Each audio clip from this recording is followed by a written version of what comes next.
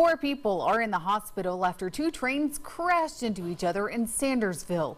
A Norfolk Southern train ran into a local train carrying scrap metal and wood chips. It happened near the Sun, Hill Grange Road. Rick Harris with Norfolk Southern says two crew members were airlifted to hospitals in, in Augusta and two others were taken to a hospital in Sandersville. Crews are trying to figure out how the accident happened and how much damage was done to the train.